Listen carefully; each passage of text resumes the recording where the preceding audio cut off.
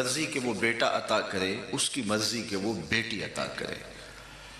बेटी नसीब हो तो ये भी अल्लाह की रहमत का रूप है।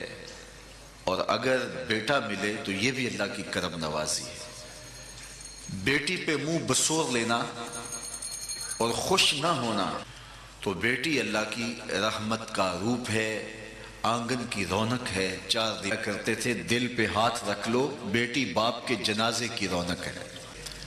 उस पर मुसरत का इजहार किया जाए।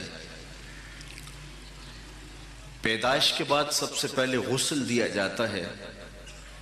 उसके बाद उसको साफ़ लिबास में मलबूस किया जाता है।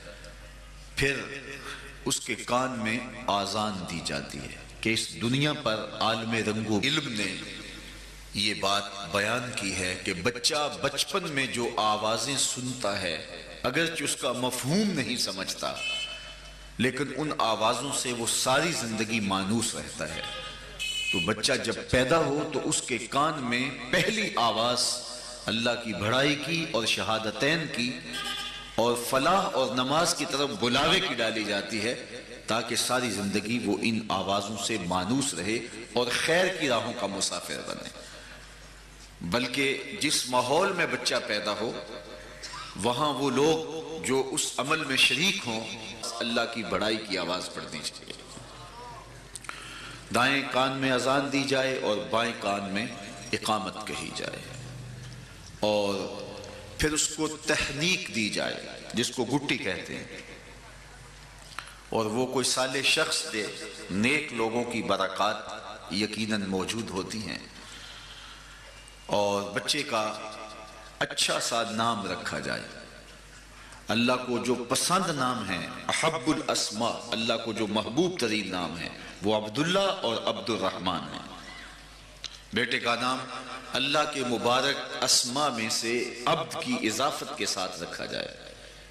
या रसूल करीम वसल्लम के मुबारक नाम पर अपनी औलाद का नाम तो अजवाज मतहरात के नाम पे रखी जाए, उनके नाम रखे जाएँ। सहाबियात के नाम पे उनके नाम रखे जाएँ। अच्छे नाम रखने की तलकीन की गई।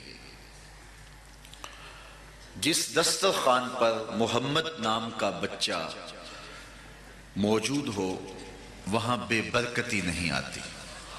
वहों के नाम पर अम्बिया के नामों पर, औलिया के नामों पर, असहाब रसूल के नामों पर अपने बच्चों के नाम रखें। ये शौक जो अमूमन दौर मौजूद में हर वालदेन को है कि मैं अपनी औलाद का ऐसा नाम रखूँ जो पहले ना सुना गया हो, ना देखा गया हो। होते हैं बस सुनने को मिलते हैं और उसका कोई माना और कोई मफहूम ही नहीं होता। अगर ये शौक भी है कि ऐसा नाम रखा जाए जो मुनफरद है और अमूमी तौर पे लोग नहीं रखते हैं तो असहाब रसूल के नामों की फहरिस्त पड़ी जाए, आपको बड़े बड़े नमाया नाम मिलेंगे। और ऐसे नाम आप